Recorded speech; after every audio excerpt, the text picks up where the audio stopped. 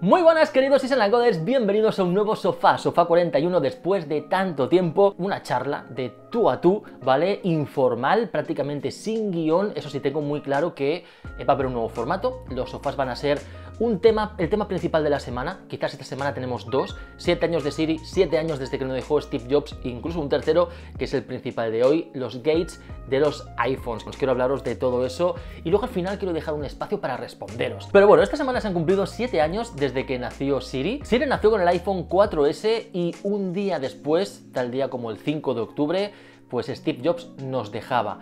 Y esto no puedo dejar de pensar que no fue casualidad. Steve Jobs desde 1984, cuando presentó el primer Macintosh, estaba obsesionado con que el equipo dijera hola al mundo.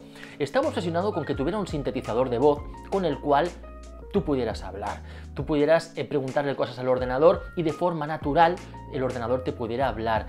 Bueno, pues yo creo que fue quizás caprichos del destino que eh, un día antes de que Steve Jobs nos dejara, desgraciadamente, eh, salió el iPhone 4S con Siri, ese asistente, ese primer primera inteligencia virtual podríamos decir, aunque no es como tal, pero por lo menos era un asistente con el que podíamos interactuar y podíamos hablar de forma natural, lo que siempre había querido Steve Jobs. Por eso no puedo dejar de pensar que ese nombre de iPhone 4S aunque la S puede ser Speed y lo que queráis, yo no puedo dejar de pensar que ese iPhone 4S tiene todos los números de ser el iPhone homenaje a Steve Jobs, ese iPhone for Steve un iPhone que trajo justo lo que toda su vida había querido Steve Jobs.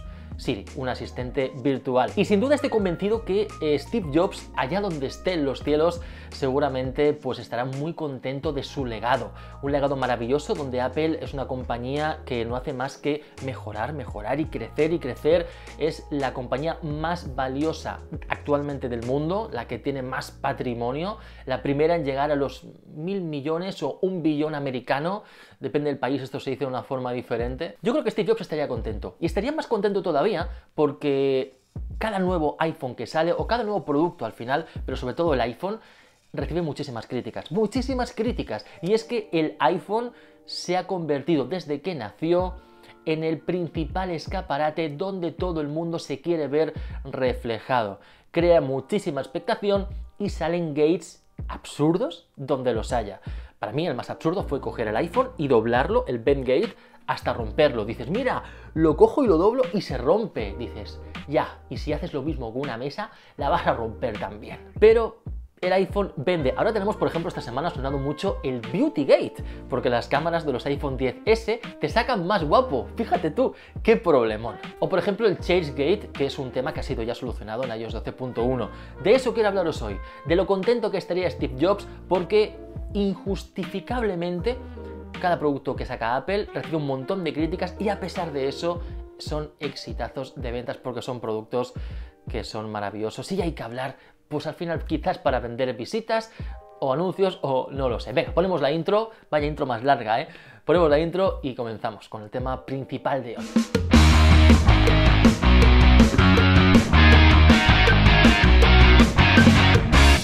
Lado tenemos el Gate. Es verdad, eh, Unboxing Therapy lanzó la voz de alarma y con toda la razón hizo muy bien. Yo hubiera hecho lo mismo si lo hubiera descubrido en su momento, aunque ya sabéis que a mí no me gusta ser sensacionalista y me gusta analizar las cosas en su justa medida.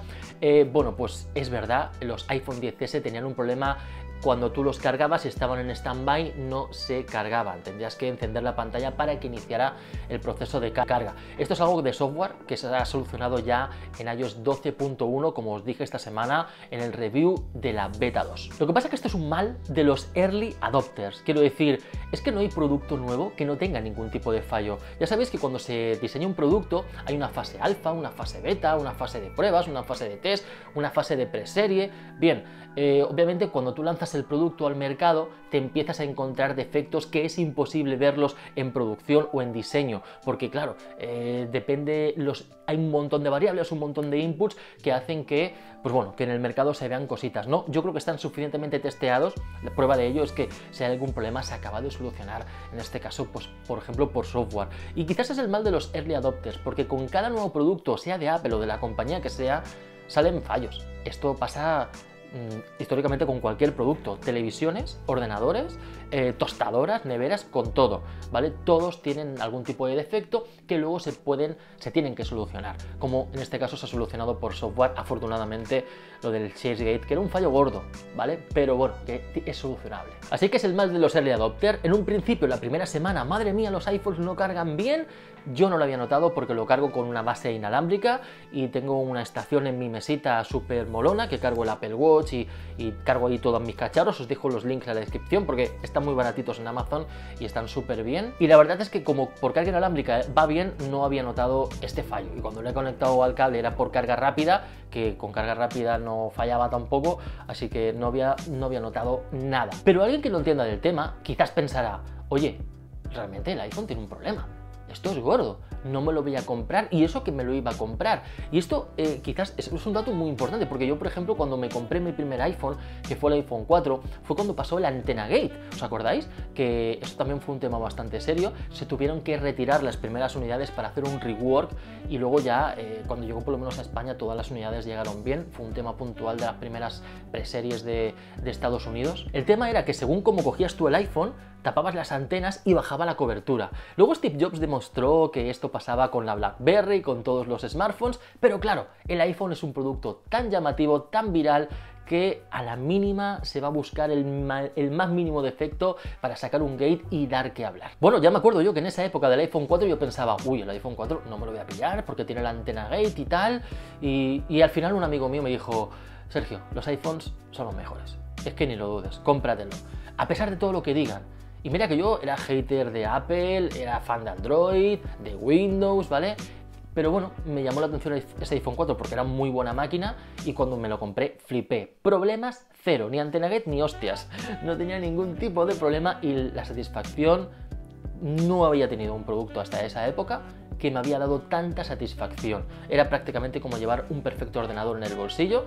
Antes había tenido HTCs, había tenido PDAs, había tenido Androids y eran estaban muy lejos de lo que ofrecía ese iPhone 4 en velocidad, en batería, en cámara, en navegación, en apps. Era otro mundo. Pero si yo me hubiera dejado llevar por las críticas, por el Antena Gate, no me hubiera comprado ese iPhone. Y quizás esto le pasa también a mucha gente. Por ejemplo, ahora tenemos, como os decía en la entradilla, el Beauty Gate. Las cámaras hacen un procesado tan potente de la imagen que te acaban eh, dejando la piel un poquito más tersa, no se te ven tanto las arrugas. Esto es algo que dice Apple que lo va a solucionar por software, porque evidentemente como os decía al principio, y quiero insistir mucho en esto, early adopter es aquel, aquel usuario que se compra un producto demasiado pronto, el primer día que sale y en los primeros días puede haber cualquier fallo.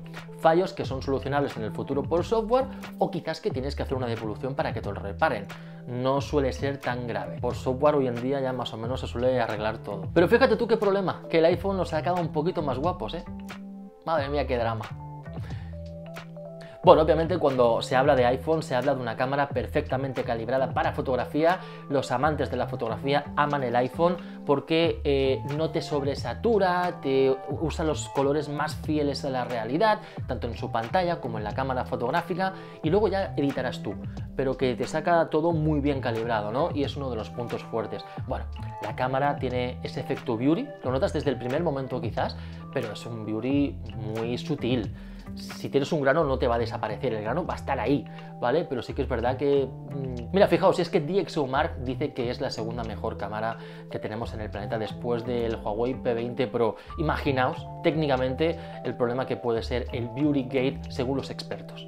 Al final todo se resume en que cuando se hace una encuesta de satisfacción, los equipos de Apple dan un grado súper alto de satisfacción. Eh, los que tienen un Apple Watch, el Apple Watch tiene el ratio más alto de satisfacción por sus usuarios, el iPhone tiene el... Cuando tienes un producto de Apple realmente te mola mucho. Y digo Apple, como podría decir, de HTC en el pasado, o de Nokia, o de lo que sea, ¿vale? Pero en este caso, pues toca hablar del, del Gates de los iPhones. Hay productos muy buenos, pero decir, el iPhone no es lo único. Luego hay tostadoras, hay ordenadores, hay neveras, hay lavadoras, hay consolas, televisiones y hay de todo, ¿vale? Y hay marcas buenísimas. Pero en este caso, pues el iPhone tiene un, un ratio de satisfacción muy elevado. Entonces, claro, ¿cómo puede ser que la gente que compra un iPhone XS Max, por ejemplo, o 10S Max, como es mi caso, estemos súper contentos con la batería, con la pantalla, con el rendimiento, con la cámara, con todo, y luego te digan, no, es que hay problemas de batería, si me va fantástica la batería, ¿qué me estás contando? O la cámara tiene el efecto beauty. Bueno, pero tienes que ir al detalle, es que no se ve mucho este efecto beauty, ¿eh? Es un poco sutil. Entonces, claro, con todo esto, al final la gente no se compraría un iPhone. Pero al final el que se lo compra te dice, déjate de tonterías, va perfecto. Entonces, claro, todos estos problemas se basan en que los equipos de Apple son tan llamativos, están en el escaparate y todo el mundo quiere fijarse en ellos. Prueba de ello es que los móviles, la mayoría o muchos, son un reflejo del iPhone, de aquel iPhone original y de lo que es actualmente. Los ordenadores portátiles se han visto todos muy influidos por, sobre todo el MacBook Air, los MacBook Pro, su finura, su teclado, por todo. Obviamente son equipos que están muy bien diseñados, son muy bonitos y bueno, pues está bien que sea un reflejo porque son productos buenos, pues ¿por qué no tirar por ahí en global? Me parece fantástico. esto de las copias a mí me parece una tontería. Pero bueno, que cada año tiene que haber algún gate, que no le hagáis mucho caso al tema porque esto va a pasar así con cada producto de Apple y nadie, nadie en su sano juicio ha devuelto por ninguno de estos gates eh, ningún producto de Apple. Así que bueno, tampoco le hagamos mucho caso al tema de los gates, miremoslos en su justa medida. Ahora me dirás, ¿eres un fanboy, Sergio? Estoy diciendo que los gates han existido, pero se han solucionado. Ya está. Es el típico fallo que tiene cualquier producto cuando sale por primera vez al mercado. El mal, los early adopters tenemos, somos sufridores porque nos comemos los primeros fallos que luego se van solucionando poco a poco. Venga, vamos a pasar ya y espero leer vuestros comentarios, ¿vale? Con todo esto que os estoy diciendo, a ver qué pensáis vosotros al respecto, porque entiendo que eh, yo quiero tener una opinión plural, obviamente esta es mi opinión más particular, pero entiendo todos los puntos de vista y si alguien me dice lo contrario, yo no me voy a enfadar para nada y me encanta debatir sanamente los comentarios con todos vosotros, ¿vale? Vamos a pasar al Q&A. Voy a voy a leer dos preguntas. La primera es de Dani464 que dice, si no tuvieras un canal de YouTube, ¿devolverías el Max? y te volverías al 10, al X? Muy buena pregunta, Dani. Me encanta esta pregunta porque eh, de entrada el iPhone 10S es igual que el iPhone 10. Por lo tanto, yo si tienes un iPhone 10, te recomendaría que te, que te esperaras. No tienes que ir corriendo a por el 10S porque la experiencia es muy muy similar. Luego tienes el 10S y notas que la pantalla va más fluida, las cámaras son mejores, la autonomía de la batería es un poquito mejor y dices, bueno, pues tiene mejoras que valen la pena. Pero claro, yo resumiendo, ¿eh? si tienes un iPhone 10, no merece la pena ir al 10S, que si vas fantástico vas a obtener mejoras que las vas a disfrutar muchísimo, pero que te puedes esperar un año más. Y si te quieres cambiar al Max, este es el cambio de este año, sin duda el Max es el más vendido. Yo he elegido el Max para tener una sensación de tener otro dispositivo. A mí el Max me parece maravilloso, me encanta y desde el primer día, eh, desde el primer minuto, la usabilidad con el Max eh, es la misma que tenía con el iPhone 10. Y me explico. Evidentemente es más grande, evidentemente ocupa más espacio en el bolsillo, evidentemente es menos ergonómico. Si lo usas, lo quieres usar a una mano, el Max no es para ti. Yo lo usaba a una mano y se puede. Entre el reachability se puede escribir bien y se puede, pero es más incómodo, es más ergonómico un iPhone 10 o un iPhone 10S, indudablemente. Lo que pasa es que en mi caso yo me siento más cómodo eh, utilizando el smartphone con dos manos. Y ya el iPhone 10, aunque lo podía usar a una mano, generalmente lo usaba a dos manos. Entonces yo te lanzaría a ti la contrapregunta. ¿Tú cómo utilizas el iPhone? ¿Lo utilizas a dos manos, sea el que sea? Sea un Plus, sea un iPhone 10, sea lo que... Si lo utilizas a dos manos y estás cómodo con él, ves por el Max, porque es más eh, utilizable, más usable a dos manos, tiene el peso adecuado para utilizarlo a dos manos, tiene el tamaño adecuado para utilizarlo a dos manos. Si por contra dices, yo lo quiero usar una mano, solo lo quiero usar una mano y eventualmente a dos, pero el 90% a una mano, entonces ves por un 10 porque el Max se te va a hacer grande. En mi caso ya os digo, yo con el iPhone 10, aunque lo podía usar a una mano y es más ergonómico y cómodo a una mano, lo utilizaba mayormente a dos manos. Por lo tanto, el Max me ha supuesto la transición, cero dramas ningún problema. Y como llevamos un montón de años acostumbrado al Plus, pues no me molesta ni en el bolsillo ni para conducir, porque yo tengo tejanos, a ver el cable que no, pero mis tejanos son normales, ¿vale? Yo me meto aquí el móvil y no, me, y no me molesta. Entonces, bueno, para mí no ha supuesto ningún drama el Max y os lo recomiendo los que estéis contentos con un Plus. El Max os va a encantar. Y si queréis pantalla más grande, es una maravilla esta gran pantalla. Una maravilla. Y la batería ni te cuento, espectacular. Venga, segunda pregunta y ya acabamos el programa de hoy. Os dejo con Íñigo, uno de los chicos VIP. Muchísimas gracias Íñigo por dejar la pregunta. Si queréis uniros tenéis el link en la descripción y tenemos un grupo privado donde hablamos un montón de mensajes cada día, miles de mensajes ahí hablando de cosas geeks, de cine, de películas, de tecnología, de todo, de todo lo que nos mola. Y bueno, os dejo con Íñigo. Va, Íñigo, lanza la pregunta, amigo.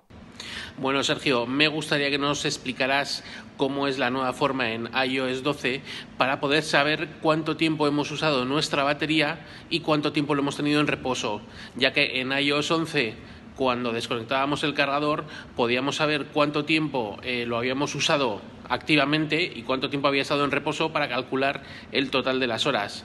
Eh, yo por lo menos ahora no me aclaro con este nuevo sistema. Muchas gracias. Íñigo, tienes toda la razón. Ahora Apple mide de otra manera eh, el tiempo de uso de la batería. Antes, en el momento que lo sacabas del cargador, te empezaba a contar. Ahora no. Ahora lo que te hace es te mide las últimas 24 horas y te muestra estadísticas en base a eso. Lo mide de otra manera, ¿vale? Entonces es un poquito complejo. Tenemos dos gráficas. La gráfica de arriba tenemos, eh, aparece todo ensombreado en verde y con un rayito al inicio cuando estamos cargando el dispositivo, ¿vale? Y luego, pues bueno, aparece el tanto por ciento en la gráfica que va decayendo conforme el uso. Bastante trivial. Son los mismos tiempos que en la gráfica de abajo. La gráfica de abajo tenemos que fijarnos, por ejemplo, cuando está cargando, yo lo cargo por la noche cuando duermo, por lo tanto, mientras yo estoy durmiendo, el smartphone está en mi base de carga inalámbrica y yo estoy frito, la pantalla está apagada y no lo uso. Fijaos que cuando me carga, tengo la pantalla apagada. Sin embargo, por la mañana lo primero que hago es sacarlo del cargador y ya empiezo a tener tiempo de uso de la pantalla. Y se nota que ya no está en la franja esta verde donde eh, se estaba cargando y ya va decayendo. Y bueno, va decayendo, es muy importante que os fijéis cómo cae la batería en función del uso que estéis haciendo abajo. Y hay una barrita de dos colores. La azul oscuro es el tiempo de uso de pantalla y el azul claro es el tiempo de uso en segundo plano, tiempo de uso con pantalla apagada. Cuando estoy viendo un vídeo de YouTube, cuando estoy viendo una peli en Netflix, me cuenta, o estoy en Telegram con la pantalla encendida al final, me, encuentra el, me cuenta el azul oscuro. Y ya está, la verdad es que simplemente tener en cuenta que es, eh, el tiempo es el mismo arriba que abajo, entonces es un reflejo. Si veis que se está cargando, en mi caso no tiene tiempo de pantalla, de uso, ¿vale? Porque está cargándose y no lo toco, porque yo estoy durmiendo. Y luego durante el día, pues fijaos sobre todo cómo cae la batería en base a lo que vosotros lo utilizáis para decir, oye, pues mira, esto me gasta más, me gasta menos. Y luego abajo tenéis las estadísticas de las aplicaciones. Esto es muy importante, mirar las aplicaciones que más batería gastan, porque si veis que no la estáis utilizando esa batería, por ejemplo, imaginaos Facebook gasta mucha batería. Oye, pues yo Facebook eh, para evitar que Facebook me gaste mucha batería, yo lo que tengo es notificaciones de Facebook desactivadas y en ajustes general, actualizaciones en segundo plano, Facebook lo tengo quitado. Así solamente gasto Facebook, me gasta batería cuando lo estoy utilizando con la con estoy dentro de la app. Cuando la app está cerrada no me gasta nada. Bueno, pues seguir esta estadística de abajo porque vais viendo las aplicaciones que más gastan, si son chats que usáis mucho o, podcast, aplicaciones que usáis mucho es normal, pero si aplicaciones que usáis poco están arriba, es que gastan batería en segundo plano, quitarlas de actualizaciones en segundo plano y, o borrarlos o hacer algo para optimizar el uso de la batería. Bueno, ya está. Muchas gracias, Íñigo, por la pregunta. Muchas gracias, Dani. Muchas gracias a todos los que estáis preguntando. Poquito a poquito os iré sacando en el programa. Y nada, amigos, espero que os guste esta nueva etapa del sofá de Code y me despido hasta un próximo video. ¡Chao!